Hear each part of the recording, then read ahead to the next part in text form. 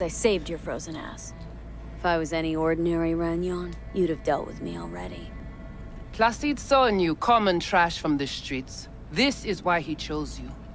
But you knew about the chip. And Struggle, still thank put yourself in danger in the gym. Mm-hmm. Just like you. Only I came out of there on my own. Biochip's busted. That's why I'm here.